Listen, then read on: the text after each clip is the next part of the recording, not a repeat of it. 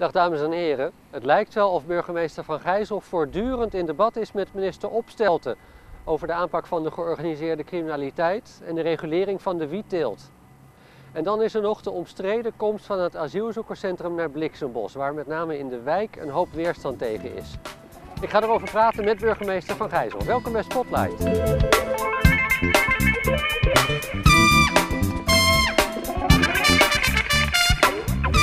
Gijzel, uh, welkom weer. Het is alweer even geleden dat we elkaar gesproken hebben. Er is een uh, hoop, uh, hoop gebeurd. Misschien om te beginnen even waar we hier zitten. Dit is de, de boardroom van het SX-complex op Strijp S. Wat een paar weken geleden ook door u geopend is, hè? Ja, dat is wel heel bijzonder, want het is eigenlijk uniek in Nederland. Het is een, een samenwerking van allerlei bedrijven op het gebied van sport, media en marketing. Allemaal wel aan sport gerelateerd die hier bij elkaar een onderdak gevonden hebben en op die manier elkaar ook heel erg goed weten te stimuleren en te inspireren. Uh, en het gaat ook heel snel.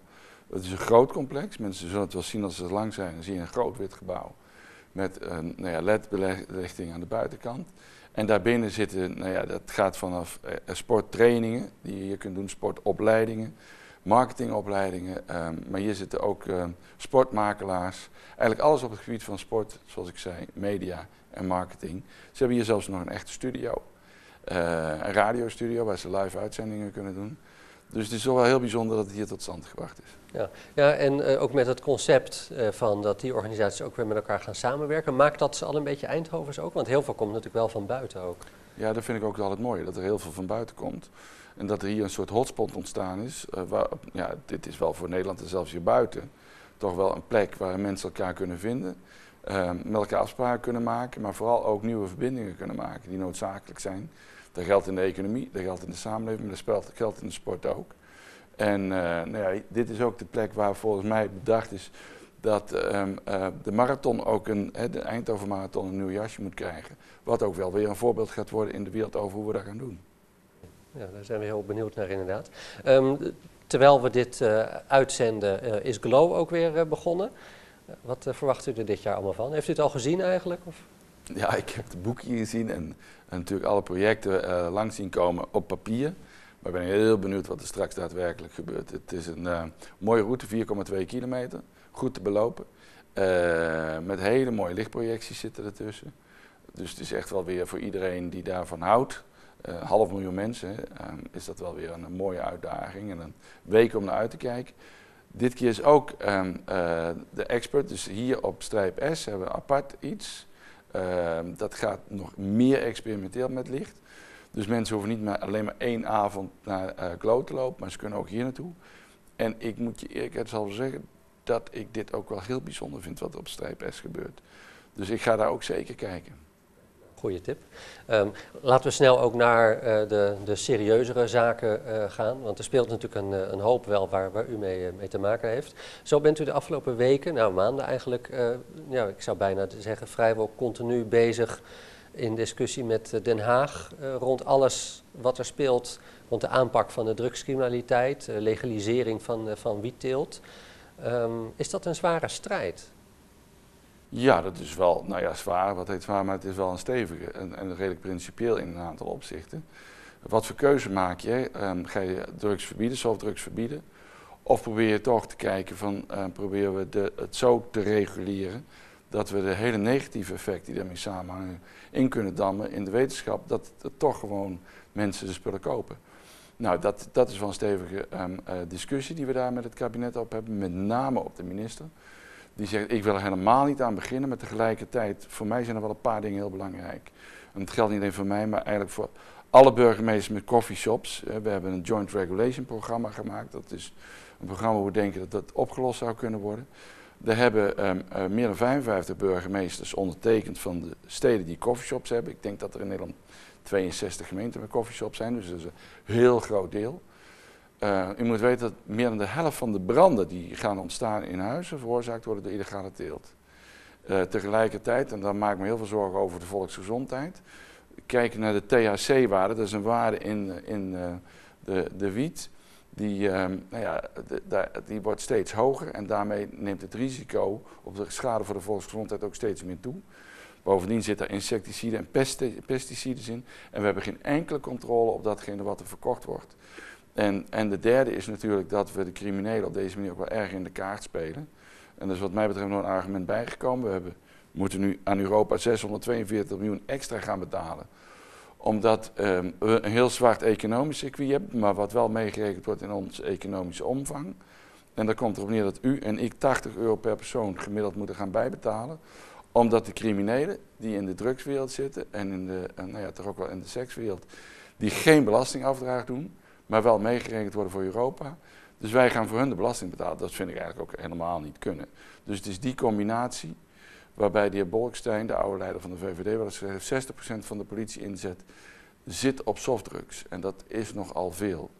Waarom heb ik dit probleem? Dat heeft te maken met het gedoogbeleid in Nederland. Dus je mag in Nederland mag je het kopen, je mag het roken, je mag het hebben, maar je mag het niet maken. En toch is ook wel de afgelopen tijd, ook wel door een aantal deskundigen gezegd, van tuurlijk, het, het zou zo werken op het moment dat je ook nog die aanvoer van, van wiet naar de coffeeshops ook legaal zou maken, onder toezicht zou plaatsen, hoe je het ook reguleert. Maar dat dat al een overtreding van allerlei internationale verdragen zou zijn. Kan het wel? Ja, ik denk dat het kan, want we hebben op basis van het internationale verdrag ook dit gedoogbeleid toegestaan. Ehm, en uh, het gedoogbeleid betekent dat wij gedogen dat de softdrugs verkocht worden in coffeeshops, maar geen harddrugs. Dus een van de dingen is, je mag het niet samen met harddrugs verkopen. Daardoor zijn wij er in Nederland in geslaagd om een hele strikte scheiding te hebben tussen soft en harddrugs. Met een enorme vooruitgang. Ik weet nog toen ik in Amsterdam woonde, daar Kamerlid was, um, dat wij 52 harddrugs doden per jaar hadden. Nou, dat hoor je bijna nooit meer. Dus dat is buitengewoon succesvol van het beleid. En dat hebben we gedaan op basis van het internationaal verdrag. Waarin staat dat wij mogen afwijken van het internationale gedrag om redenen van volksgezondheid. Nou, wat wij dus zien nu met de verkoop van uh, deze spullen, dat de, de, volksgezondheid echt ernstig in het geding is. Dus je zou kunnen zeggen, op basis van het internationale verdrag, ik maak een voorbouw op dat punt. We gaan niet legaliseren. Er is een misverstand. Legaliseren betekent dat het vrije verkoop is, dat zelf mag kweken. We willen het reguleren. En dat betekent dat we het onder andere toezicht zetten. Dus we gaan kweken onder toezicht, verkopen onder toezicht. Waardoor je um, kunt voorkomen dat die branden gaan ontstaan. Waardoor je kunt voorkomen dat je rotzooi verkoopt aan de jonge mensen. En uh, de criminelen de wind uit zeil halen. Maar zoals u het zegt, we, we gaan het zo, zo doen. Gaat u ervan uit dat u vroeg of laat uw zin krijgt en dat dat gebeurt. Maar nog ziet het er toch naar uit dat het kabinet gewoon helemaal niet mee wil doen. Ja, nou ja, kijk, um, ik, ik, zag um, van de week, um, dat was uh, donderdag, heeft de gemeenteraad van Amsterdam zich aangesloten bij Eindhoven. Uh, inclusief de VVD-fractie. Net als in Eindhoven de VVD-fractie. En dat is belangrijk, want de minister Opstelters van de VVD die gezegd hebben, wij moeten in Amsterdam, moeten wij ook gewoon het voortouw nemen om net als Eindhoven samen na te gaan of wij toch zo'n pilot tot stand zouden kunnen brengen waarbij we de regulering wel kunnen organiseren. Ik moet nog zien hoe die discussie loopt. Hij is niet mals. Maar ik vind het eigenlijk, als ik naar de samenleving kijk en naar deze stad kijk, en ik zie wat daar gebeurt met die branden, met de jongeren, met de criminelen en die dat geld allemaal weer op een andere manier gebruiken. Dat kan een minister niet afdoen door te zeggen, ik stuur een brief naar de Kamer, ik doe niet mee en ik heb geen enkel alternatief. Hoe snel verwacht u dat hij overstag zal gaan? Ja, ik denk dat deze minister niet heel snel overstag, zelfs overstag zal gaan, maar misschien het kabinet wel. En, uh, en hier is natuurlijk de Kamer is wel de baas. Dus um, uh, er is dit weekend ook een groot congres van de VVD. Uh, dus ik, ik denk dat daar wel een stevige discussie ook over dit punt gaat ontstaan. Nou, we moeten maar kijken. Het is natuurlijk een lange discussie al. Het is geen eenvoudige discussie en ik heb ook geen eenvoudige oplossing. Maar ik weet één ding wel, dat zoals we het nu doen, dat dat niet kan. Laat ik u heel simpel zeggen. Het is niet denkbaar dat je bier mag drinken, maar geen brouwerijen mag hebben. En dat doen we in Nederland. Nou, dat betekent dat je dus iets illegaals gaat maken, terwijl het gebruik daarvan legaal is. Ja, dat gaat gewoon niet samen. Ik wou door naar een uh, ander punt, wat uh, u ongetwijfeld ook uh, een hoop tijd heeft gekost de afgelopen tijd. Dat is de hele discussie die er ontstaan is over het nieuwe asielzoekerscentrum in Bliksembos. Um, ja, toch het, het meest in het oog springende moment was daar uh, de, de, de brand die er woedde. Toen kwam u ook uh, zelf naar die plek toe. Laten we nog heel even kijken hoe dat, hoe dat toen ging.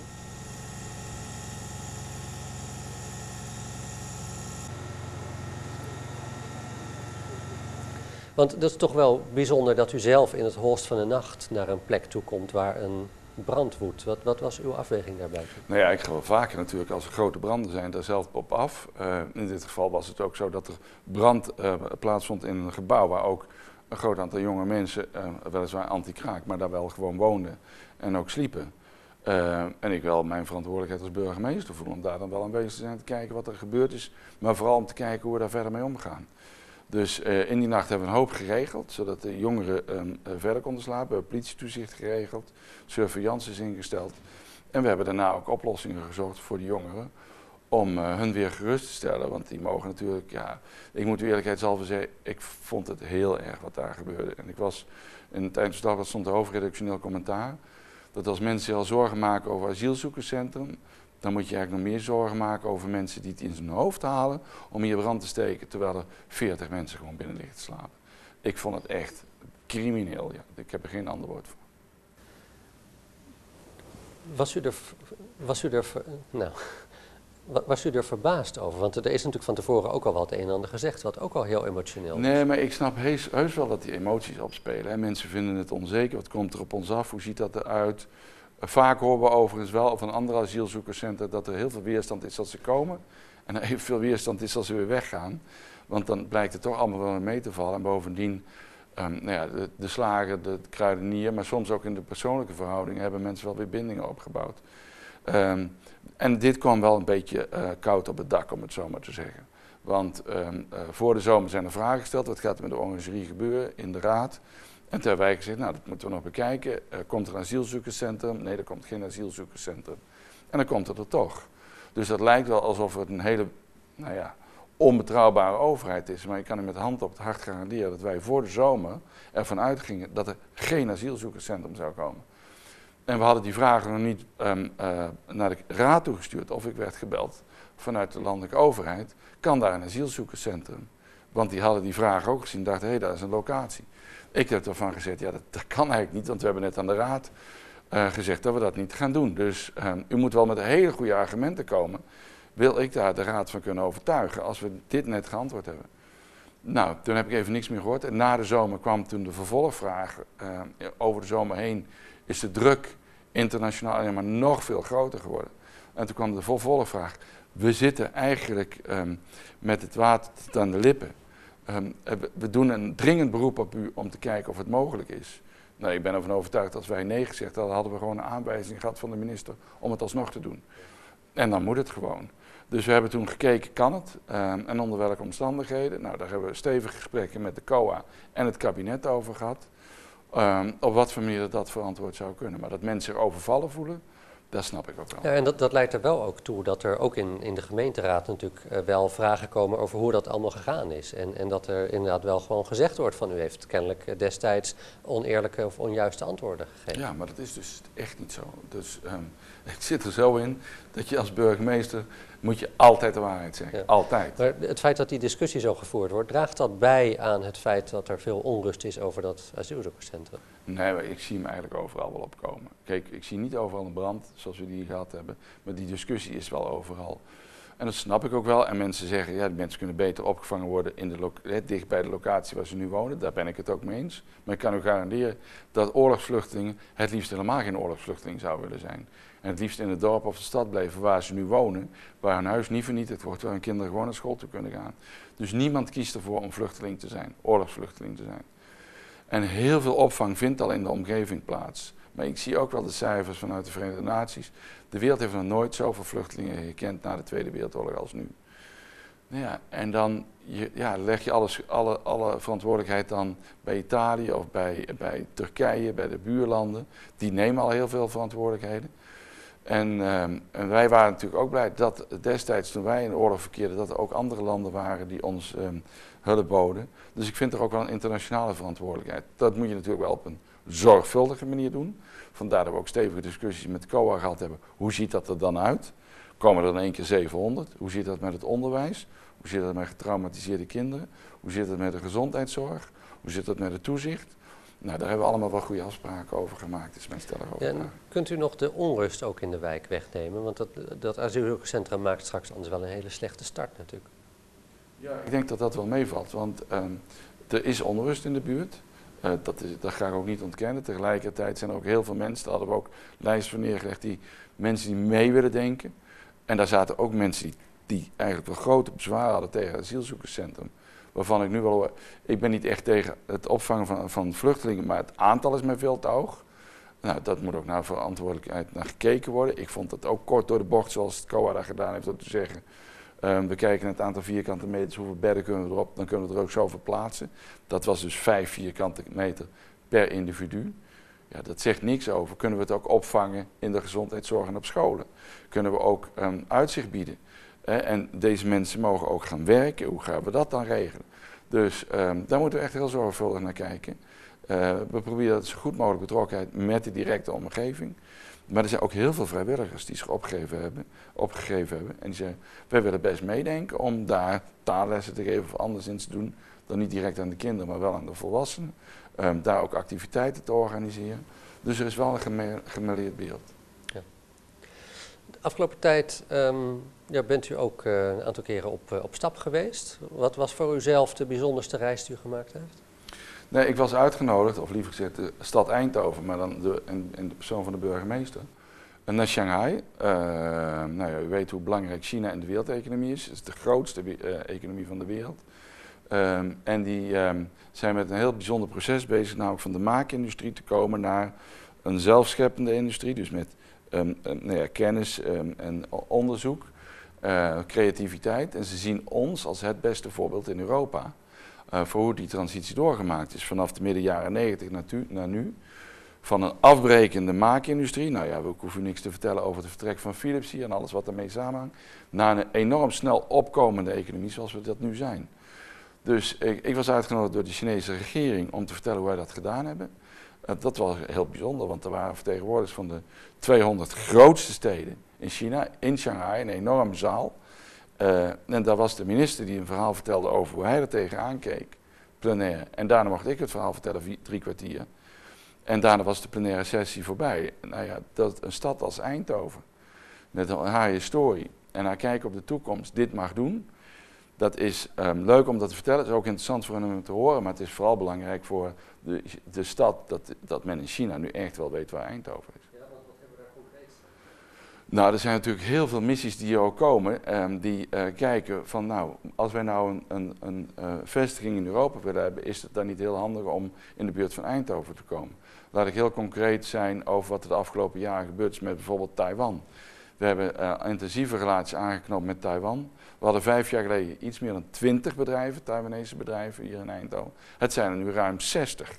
Dat is bijna geëxplodeerd. Meer dan de helft van alle Taiwanese bedrijven zitten hier. En dat helpt ons ontzettend, hè, want we werken daar nauw mee samen. Het geeft heel veel werkgelegenheid en daarmee ook heel veel economische groei. Want de angst zou natuurlijk kunnen zijn als u daar een bevlogen verhaal houdt over hoe we het hier aanpakken. Ja, Chinezen staan er toch ook wel onbekend dat ze succesverhalen graag kopiëren. Ja, maar zo simpel is dat dus niet. Want nou ja, in de Chinese situatie, misschien moet ik daar maar gewoon heel open over zijn. Kijk, wat wij hier hebben zijn toch wel toch een beetje speciale cultuur laat ik het meest platte nemen. Als een, als een ingenieur iets bedacht heeft en die komt op de werkvloer om bij een uh, nou ja, machinebankwerker die het moet maken, dan durft de machinebankwerker te zeggen. Hè, een innovatief product, dus je weet ook niet precies hoe het zit. Dat gaat niet werken, dat, dat moet het toch echt anders doen. En dan denkt zo'n ingenieur, nou, dat zou wel eens waar kunnen zijn. Ik kan u vertellen dat dat daar niet zo gaat. Daar is de hiërarchie veel sterker. Maar er zitten ook een paar andere dingen in. Uh, men heeft daar Confucius bijvoorbeeld. Hè. Dus eh, de leer is dat de leerling niet beter mag zijn dan de meester. En innovatie betekent dat eh, de leerling altijd beter moet zijn dan de meester. Want dat is innovatie. Nou, er zitten een paar van dat soort mechanismes. Dat gaat zo snel niet. Maar het is wel belangrijk dat wij die contacten met hun houden. Het is een belangrijke markt. Uh, we kunnen daar ook zelf onze eigen bedrijven naartoe brengen om dingen te laten produceren. Maar ook om afzetmarkt te creëren. Um, en het zou natuurlijk fantastisch zijn als Chinese bedrijven zich hier vestigen en niet in Frankfurt of in Parijs of op een andere plek om de Europese markt te bedienen. En wat, wat geeft daarbij dan de doorslag, denkt u? De keus. Ja. Nou, die weten we wel, want daar weten we wel een, een rijtje van. Dat is internationaal bekend. Talent is heel belangrijk om hier te komen voor bedrijven die zich hier willen vestigen. Is dus beschikbaarheid op de arbeidsmarkt van mensen die, um, die opgeleid zijn of snel op te leiden zijn. De tweede is uh, de onderzoeksinstituten. Ze komen hier echt voor nieuwe producten, nieuwe innovaties. Dus samenwerking met de TU Eindhoven of met de, nou ja, wat er op de Hightech Campus gebeurt. Samenwerking met andere bedrijven, dus dat is clustervorming. Dat en daar staan wij natuurlijk bekend om, hè, dat we heel goed tussen de bedrijven samenwerken. En de houding van de overheid. Uh, ben je een meedenkende overheid of een afhoudende overheid? Dat zijn wel de drie belangrijkste criteria op basis waarvan men gaat kiezen. Want de toegang tot de Europese markt maakt niet uit of je in Parijs of in Duitsland of in Nederland zit. Die is, die is overal gelijk. Ik vraag het ook omdat er ook wel eens uh, genoemd wordt van ja, maar het, het, moet ook prettig leven hier zijn voor expats. dus de Dutch Design Week, het muziekgebouw. Is dat heel relevant? Ja, dat is wel relevant. Dat is wel relevant. Dus als je er met de expats praat en je, nou ja, je vertelt dat om zes uur de winkels dicht zijn en het weekend ook, of de zondag ook gesloten, dat hebben we niet meer dan snappen ze toch niet helemaal hoe het zit. En zeker Chinezen niet. Want uh, nou ja, de Chinezen lijken toch wel een beetje op Nederlanders, maar die zien overal wel handel in. Dus als jij een winkel hebt, dan ga jij niet dicht, want dan verkoop je niks. Dus dat vinden ze toch nog wel raar. En ze vinden ook wel raar dat wij na het werk onmiddellijk naar huis toe gaan, thuis eten en de gordijnen dicht doen. Uh, in plaats van samen eten, samen door, doorpraten over het werk. Dus er zitten best grote cultuurverschillen in. Waar we over en weer heel veel van elkaar leren. En het, mooie is, we hebben nu de hub daarbij Van de Meulen Ansems, waar uh, experts elkaar kunnen treffen. En er ontstaat ook wel echt een internationale cultuur hier. Nou, dat merkt u op straat ook. De talen, die, de groot aantal verschillende talen die we hier spreken. En dat geeft Eindhoven alleen maar kans en het geeft Nederlands kans. Want wij moeten ons geld toch in het buitenland verdienen. Wij zitten hier met 17 miljoen mensen. Als wij het alleen maar moeten hebben van de producten in de Nederlandse markt, dan gaat het echt niet lukken. Dus afzetmarkt voor ons, internationale contact, is ontzettend belangrijk. Ik, ik, vraag het natuurlijk ook omdat natuurlijk het, het muziekgebouw natuurlijk wel uh, op, de, op, op de schopstoel zit. Uh, is dat in, in dit verhaal van interessant zijn voor expats, is dat een risico? Ja, nou ja, ik vind het hele brede pakket van cultuur en voorzieningen aanbieden, sport. We zitten natuurlijk toch wel een beetje onder druk, um, ook vanuit de landelijke overheid. We krijgen weinig geld voor cultuur, dus een stevige bezuiniging. We gaan daar de drie decentralisaties op het sociale domein doen. De WMO onder andere en de jeugdzorg. Uh, nou, dat zet onze begroting wel stevig onder druk. En Eindhoven heeft wel het nadeel dat we heel hard gegroeid zijn. En dat we heel mooi, heel veel, ik kijk nu naar Woensel, door het raam naar buiten. Grondgebonden woning heet dat, met een tuintje voor en een tuintje achter. Maar dat is wel heel duur, want dat, die, ja, de, de straten, lantaarnpalen, alles moet eigenlijk onderhouden worden. En de OZB-opbrengst die wij per woning hebben, is dus maar laag. Kijk, in Amsterdam is daar gestapeld, heb je veel meer geld. Um, dus uh, bij ons staat het wel onder druk. Niet alleen het muziekgebouw, maar dat geldt ook natuurlijk voor de kunstijsbaan, voor de zwembaden, de bibliotheken. En we moeten daar wel een weg zien te vinden om daar goed uit te komen. Kijk, het muziekgebouw staat op zichzelf niet ter discussie. Dat moet natuurlijk een hoogwaardig podium blijven voor nou ja, um, uh, uh, de muziekkunst. en dat zal het ook wel blijven. Maar zijn er ook nog dingen te bedenken waardoor de exploitatie iets makkelijker rond te breien is. En dan zou je ook kunnen denken aan bijvoorbeeld congressen organiseren overdag, want dat staat vaak overdag leeg. En, en als u dit nou zo ziet, is dit iets waar u zich dan ook mee bemoeit? Of is dat uiteindelijk puur aan wethouder Van Dorst en wethouder Schreus? Ja, dat is natuurlijk altijd de gezamenlijke verantwoordelijkheid in, in, het college. We praten daar ook over. Maar het is, wel het is wel de portefeuille van de wethouder die daar de primaire verantwoordelijkheid voor draagt. Dus de, de wethouder Van Dorst heeft hier wel een grote verantwoordelijkheid in om dit proces goed te laten lopen. En daar is hij ook heel druk mee bezig om met name met de Raad van Toezicht, de Raad van Commissarissen daar, om daar, uh, om daar een goede weg uit te vinden. Dat is geen eenvoudige opgave, dat ziet u ook wel, het duurt ook even. Maar ik ben er wel van overtuigd dat we daar samen op een Eindhovense manier uitkomen. Ja, begin januari moet daar meer duidelijkheid over komen. Meneer Van Gijzel, dank u wel voor nu. Graag gedaan. En u ook bedankt voor het kijken naar Spotlight. Volgende week zaterdag, dan zijn we natuurlijk weer. Dan praat ik met David van Iersel, dat is de directeur van 24 uur een bedrijf en nou betrokken bij de plek waar we nu zitten, het SX-complex op Strijp S. Dus graag tot volgende week.